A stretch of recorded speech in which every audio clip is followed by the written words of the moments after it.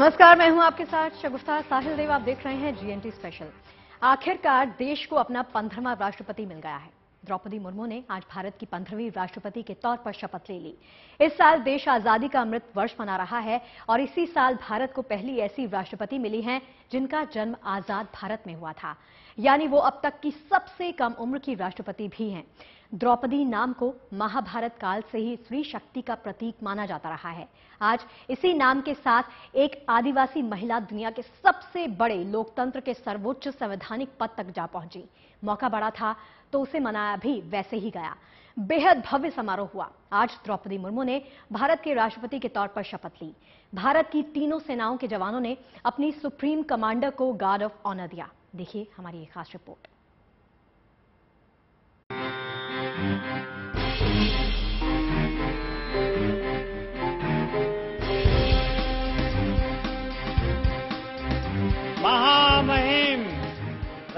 राष्ट्रपति जी। मैं द्रौपदी मुर्मू ईश्वर की शपथ लेती हूँ कि मैं श्रद्धापूर्वक भारत के राष्ट्रपति पद का कार्यपालन करूँगी। सवा सौ करोड़ जन गण मन की अधिनायक। हिंदुस्तान की सशस्त्र सेनाओं की सुप्रीम कमांडर। भारत के सर्वोच्च संवैधानिक पद की आभा।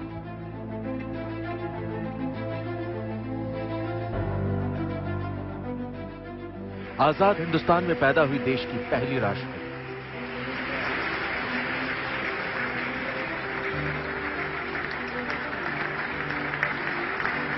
और देश की पंद्रहवीं राष्ट्रपति, महामहिम द्रौपदी मुर्मू।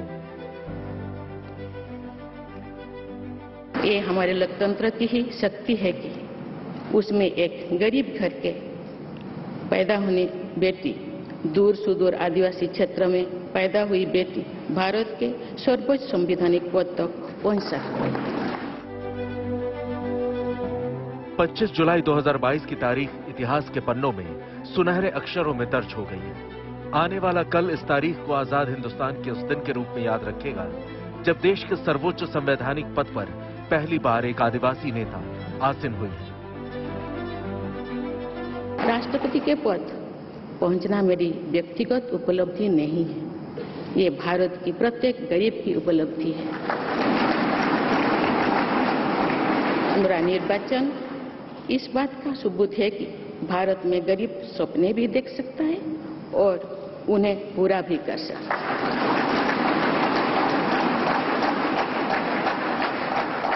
और ये मेरे लिए बहुत संतोष की बात है कि जो सदियों से वंचित रहे, जो जीवन विकास के लाभ से दूर रहे वे गरीब दलित पिछड़े तथा तो आदिवासी मुझे ये अपना प्रतिबिंब देख सकते हैं।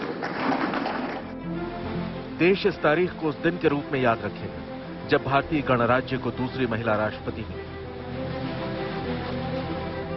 मेरे इस निर्वाचन में देश के गरीब व का आशीर्वाद शामिल है। देश की करोड़ों महिलाओं और बेटियों के सपनों और सामर्थ्य की झलक है। शपथ ग्रहण से पहले आज सुबह सबसे पहले द्रौपदी मुर्मू ने राजघाट जाकर राष्ट्रपिता महात्मा गांधी को श्रद्धांजलि अर्पित की।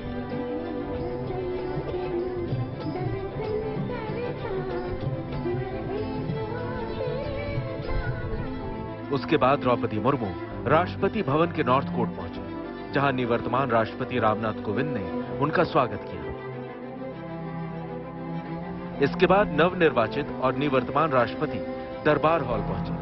फिर राष्ट्रपति भवन के फोरकोर्ट में राष्ट्रपति के अंगरक्षकों ने उन्हें सलामी दी।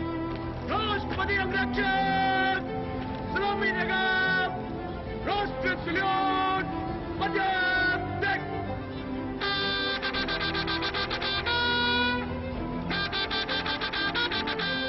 और फिर पूरे लाभ लश्कर और शान शौकत के साथ राष्ट्रपति का काफिला संसद भवन के लिए रवाना। हुआ प्रस्थान कर रहे हैं संसद भवन के केंद्रीय कक्ष की ओर। जब दोनों संसद पहुँचे तो Rajya Sabha chairman Venkaiah Naidu chief justice N V Ramana और लोकसभा स्पीकर ओम बिरला ने दोनों का स्वागत किया।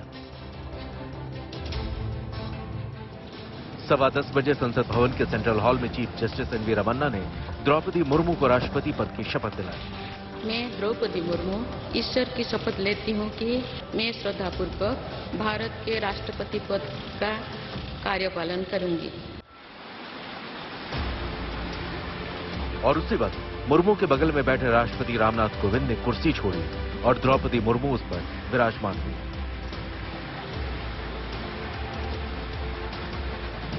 कुर्सी बदले जाने के तुरंत बाद हस्ताक्षर की कार्रवाई पूरी हुई, जिसके साथ ही नया राष्ट्रपति बनने की प्रक्रिया पूरी हो गई।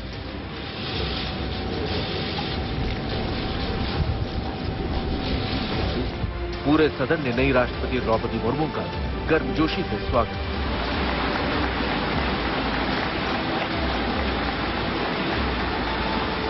इस खास पल का गवाह के। लिए द्रौपदी मुर्मू के राज्य ओडिशा के मयूरभंज से चौसठ खास मेहमान भी पहुँचे। शपथ लेने के बाद द्रौपदी मुर्मू ने पंद्रहवें राष्ट्रपति के तौर पर संसद को संबोधित किया। इन 25 वर्षों में अमृतकाल की सिद्धि का रास्ता दो पटरी पर आगे बढ़ेगा। सबका प्रयास और सबका कर्तव्य।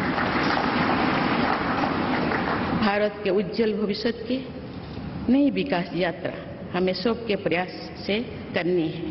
कर्तव्य पथ पर चलते हुए करनी ही है। द्रौपदी मुर्मू ने सशस्त्र बलों के सुप्रीम कमांडर के तौर पर तीनों सेनाओं और देश को करगिल विजय दिवस की अग्रिम बधाई दी। 26 जुलाई को कारगिल विजय दिवस भी है। ये दिन भारत की सेनाओं के शौर्य और संयम दोनों का ही प्रतीक है। मैं आज मैं आज देश की सेनाओं को तथा तो देश के समस्त नागरिकों को कारगिल विजय दिवस की अग्रिम शुभकामनाएँ देती हूँ।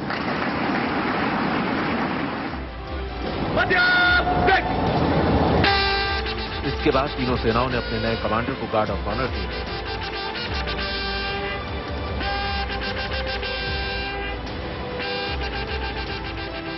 इसके साथ ही आज़ाद भारत के इतिहास में एक नए युग का आगाज़ हुआ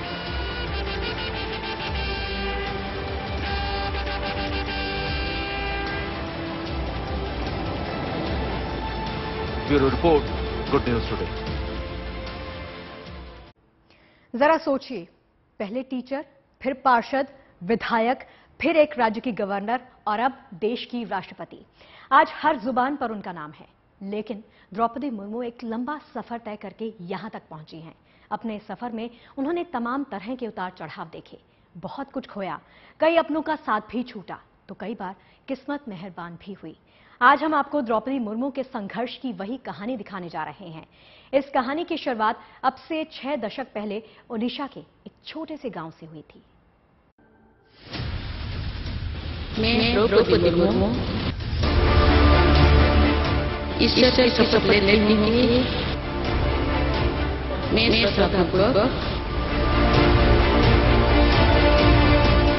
भारत के राष्ट्रपति पद का कार्यपालन तथा अपनी पूरी संविधान विधि का और जुनून होना चाहिए अपने आप में कभी भी छोटा नहीं महसूस करना चाहिए कि ये महिला है ये पुरुष है क्योंकि सबके अंदर पोटेंशियलिटीज है ठीक ही कहा था द्रौपदी मुर्मू ने संभावनाएँ सभी में होती हैं। लेकिन उन संभावनाओं के सागर में से कामयाबी का मोती निकालने का जुनून सब में नहीं होता। लेकिन द्रौपदी मुर्मू अगर सबकी तरह होती तो क्या सवा सौ करोड़ लोगों के देश की प्रथम नागरिक बनने का सपना देख पाती? आज जिन द्रौपदी मुर्मू ने रायसीना हिल्स तक का सफ़र पूरा कर लिया है, उनके लिए इस रास्ते की शुरुआत राजधानी से डेढ़ हज़ार किलोमीटर दूर ओडिशा के रायरंगपुर से हुई थी। ओडिशा की राजधानी भुवनेश्वर से करीब 280 किलोमीटर की दूरी पर मयूरभंज ज़िले में एक छोटा सा कस्बा है, रायरंगपुर। इसी रायरंगपुर के उपरबेड़ा गाँव में 20 जून उन्नीस सौ अट्ठावन को बिरंची नारायण टुडू के परिवार में द्रौपदी मुर्मू का जन्म हुआ था। करीब 6000 लोगों की आबादी वाले उपरबेड़ा गाँव के ज़्यादातर लोग आदिवासी हैं। संपन्नता ने यहाँ शायद अभी अभी कदम रखा है। इसलिए गाँव के सारे गली कूचों तक अभी पहुँच नहीं पाई है। यहाँ कच्चे पक्के मकानों के बीच ही मौजूद है वो घर, जहाँ द्रौपदी मुर्मू पैदा हुई थी। इस घर से थोड़ी ही दूरी पर वो स्कूल भी मौजूद है, जहाँ द्रौपदी मुर्मू ने पांचवी क्लास तक की पढ़ाई की थी। मैंने अपने जीवन यात्रा पूर्वी भारत में ओडिशा के एक छोटे से आदिवासी गाँव से शुरू की थी। मैं जिस पृष्ठभूमि से आती हूँ। वहाँ मेरे लिए प्रारंभिक शिक्षा प्राप्त करना भी एक स्वप्न जैसा ही था। लेकिन अनेक बाधाओं के बावजूद मेरा संकल्प दृढ़ रहा और मैं कॉलेज जाने वाली अपने गाँव की पहली बेटी थी। पढ़ाई खत्म होने के बाद द्रौपदी ने ओडिशा के सिंचाई और ऊर्जा विभाग में जूनियर सहायक के तौर पर कई साल नौकरी की। लेकिन पहले शादी और फिर माँ बनने के साथ मिली जिम्मेदारियों के चलते उन्हें नौकरी से दूरी बनानी पड़ी।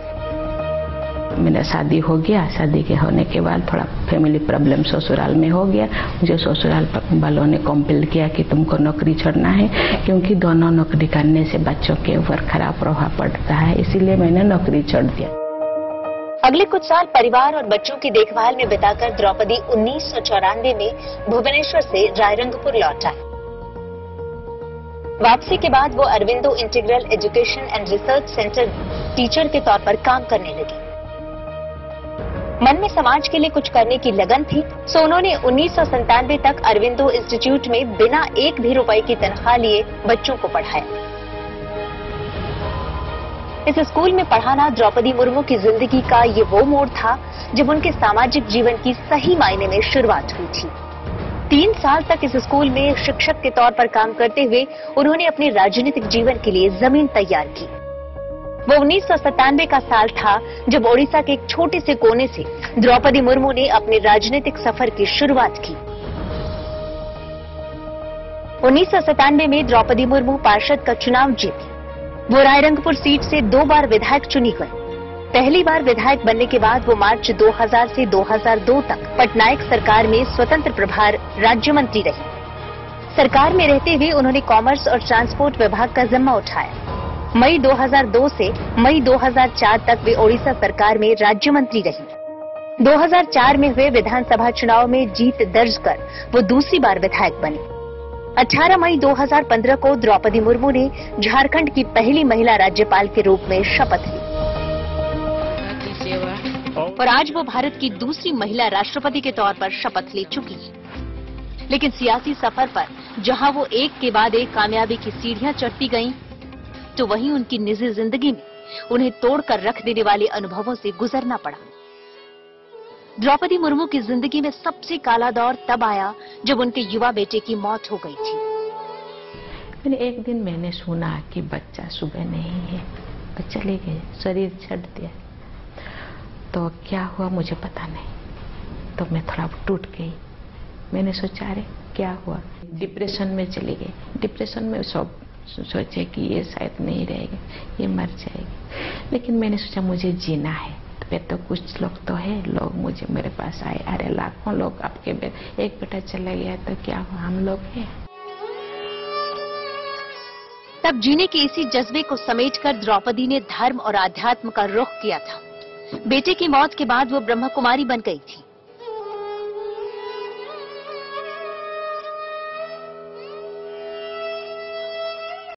मैंने सोचा, थोड़ा मुझे रिलीजियन के के दिशा में मुझे जाना है। मुझे तपस्या थोड़ा करना है माइंड्स को थोड़ा सेट करना है। इसीलिए मैं ब्रह्मा कुमारी ज्वाइन किया। दिन रात मैंने थोड़ा मेडिटेशन करते रहे माइंड को थोड़ा सेट कर लिया। मेडिटेशन और आध्यात्म के रास्ते, वो अभी अपनी ज़िंदगी को राह पर ला ही रही थीं कि उनकी ज़िंदगी में एक के बाद एक कई हादसे होते चले गए। दो हज़ार तेरह में दूसरा बेटा चला गया। और मेरे दोस्तों के साथ, और कहा तो एक्सीडेंट में उनका भी देहांत हो गया। तो फिर मेरा पति देव फिर डिप्रेशन में चला गया। पतिदेव का 2014 में पतिदेव का देहांत हो गया। मेरे माँ का देहांत हो गया, मेरे छठा भाई का देहांत हो गया। लेकिन तकलीफ़ के इस सिलसिले से गुजरकर भी द्रौपदी ने खुद को संभाला और हिम्मत जुटाकर एक बार फिर खड़ी हुई। अब की बार उन्होंने खुद को समाज सेवा में झोंक दिया। अपनी इसी जीवटता और व्यवहार के बूते आज द्रौपदी मुर्मू भारत की पंद्रहवीं राष्ट्रपति बन गई है। और देश की पहली आदिवासी राष्ट्रपति के तौर पर इतिहास में उनका नाम हमेशा के लिए दर्ज हो गया। है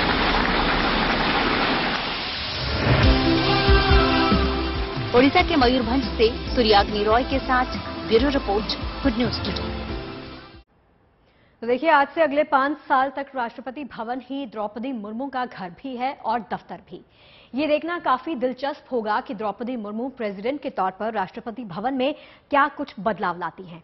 संवैधानिक प्रक्रियाएँ तो खैर बदली नहीं जा सकती, लेकिन प्रेसिडेंट हाउस और इस पद से जुड़े कई ऐसे चलन ज़रूर हैं जिन्हें अलग अलग वक्त पर अलग अलग राष्ट्रपतियों ने अपने हिसाब से ढालने की कोशिश की। किसी ने सम्मान सूचक शब्द बदला।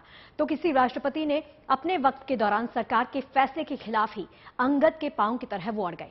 आपको सुनाते हैं महामहिम के ऐसे ही कुछ दिलचस्प किस्से।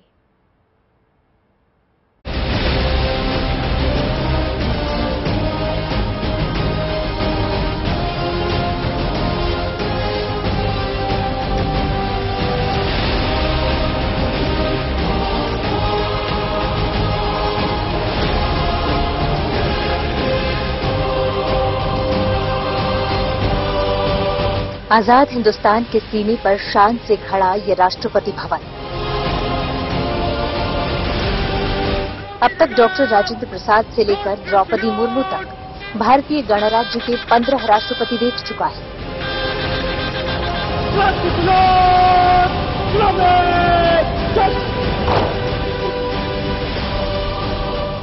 हर नए राष्ट्रपति अपने साथ अगले पाँच सालों के लिए कई बदलाव और कई यादगार किस्से लेकर आते हैं। राष्ट्रपति के पद, गरिमा और राष्ट्रपति भवन से जुड़ी कई ऐसी परिपाटियाँ हैं जो दशकों से ज्यों की त्यों चली आ रही है। लेकिन ज़्यादातर राष्ट्रपति अपनी सोच, समझ और संवेदनाओं की छलनी में छान कर इन पुरानी परंपराओं में कई छोटे बड़े बदलाव करते आए हैं। वक्त के साथ ये बदलाव इस पद की पहचान का हिस्सा बनते चले गए।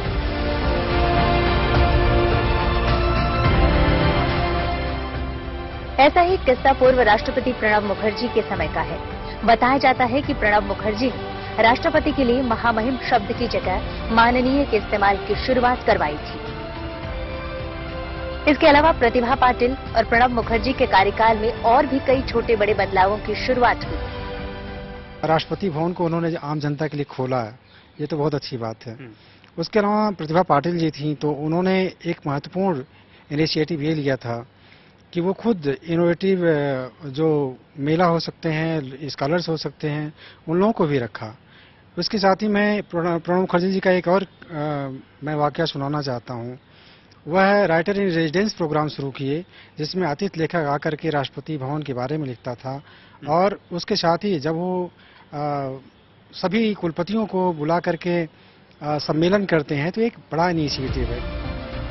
इसी तरह निजी तौर पर भी कई राष्ट्रपति कई परंपराओं को बदलते रहे।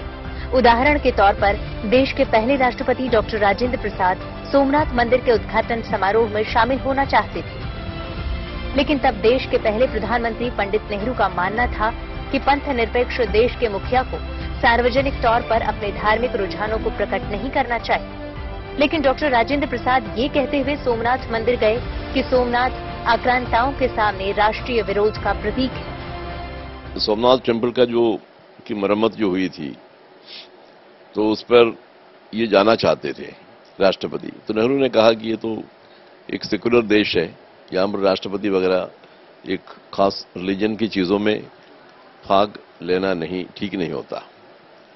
और, नेहरू के जो ओपोजिशन के बावजूद भी ये प्रेसिडेंट वहाँ पर गए हैं और पूजा वूजा किया है। उसी दौर में देश के दूसरे राष्ट्रपति डॉक्टर सर्वपल्ली राधाकृष्णन ने भारत चीन युद्ध के बाद बतौर राष्ट्रपति, न केवल सरकार की खुले तौर पर आलोचना की, बल्कि उनके दबाव के चलते पंडित नेहरू को तत्कालीन रक्षा मंत्री को बर्खास्त तक करना पड़ा था। हमारे ऊपर हमला हुआ था उस वक्त 1962 में। उस वक्त बड़ी ज़ोर से डिमांड आई कि उस वक्त का जो डिफेंस मिनिस्टर है mister V K Krishna Menon इनको हटाया जाए। लेकिन नेहरू एग्री नहीं कर रहे थे, क्योंकि उनके खास दोस्त थे वो तो वो मान नहीं रहे थे। लेकिन प्रेसिडेंट ने कहा कि इनको आप करना पड़ेगा, इनको बदलना पड़ेगा आपको। तो जब वो प्रेसिडेंट बिल्कुल डटे रहे, तब कृष्ण मेनन को हटाना पड़ा। राष्ट्रपति के पद से जुड़े ऐसे कई किस्से हैं जो रायसीना हिल्स के इतिहास को दिलचस्प बनाते हैं। वैसे पिछले कई वर्षों से भारत के नए राष्ट्रपति हर साल 25 जुलाई को ही शपथ लेते हैं। दरअसल इस तारीख के साथ नए राष्ट्रपति की शपथ का खास कनेक्शन है। 25 जुलाई 1977 को नीलम संजीवा रेड्डी देश के छठे राष्ट्रपति बन गए। यहीं से देश के राष्ट्रपति पद की शपथ 25 जुलाई को लेने की परंपरा शुरू हो गई। इसके बाद हर राष्ट्रपति ने अपना कार्यकाल पूरा किया है। यानी तब से हर राष्ट्रपति का पाँच साल का कार्यकाल 25 जुलाई को पूरा होता है और इसीलिए उसी दिन, यानी 25 जुलाई को ही अगले राष्ट्रपति शपथ लेते हैं। अब तक नौ राष्ट्रपति 25 जुलाई को शपथ ले चुके हैं। आज द्रौपदी मुर्मू 25 जुलाई को शपथ लेने वाली दसवीं राष्ट्रपति बन गई हैं। भारत यूँ बेहद गर्व और उल्लास के साथ अपने प्रथम नागरिक का अभिनंदन करता है। दिल्ली से रामकिंकर सिंह और मनीष चौरसिया के साथ bureau report good news today